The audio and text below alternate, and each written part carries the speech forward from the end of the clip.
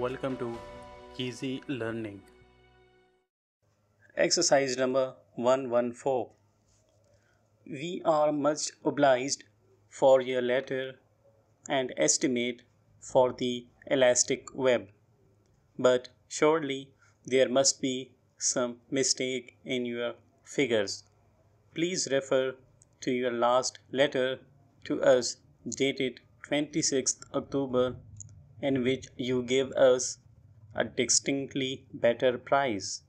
Manifestly, the postponement of the order for a week cannot possibly have made so great a difference in the price.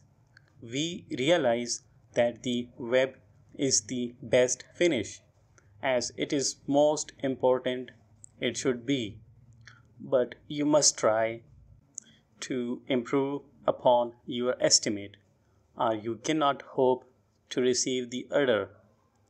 You must be estimating everything on the assumption that the web is to be silk finished.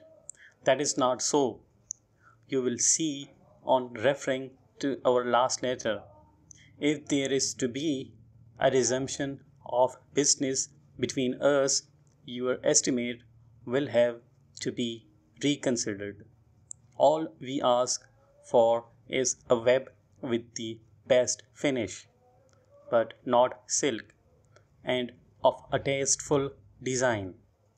What can you offer to tempt us to pass the order to you?